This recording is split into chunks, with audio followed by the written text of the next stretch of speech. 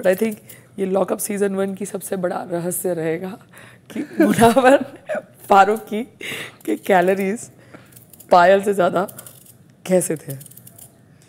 इसकी गुत्थी सुलझाओ। ये गुत्थी पायल रोहत की फैंस प्लीज़ सुलझाइए। ये रहस्य की गुत्थी भी सुलझाइए कि कैसे वर्कआउट वाले टास्क में इतना सारा खाना खाने के बाद मुनव्वर फारूकी का शरीर हिला और जिस तरह से हिला, उसने उस तरह से कैलोरी काउंट को हिला दिया और पायल जो एप्पल और प्रोटीन्स पे थी, उसने जिस प्रकार से वर्कआउट किया, उसकी कैलोरी का जो काउंट था वो घड़ी के ऊपर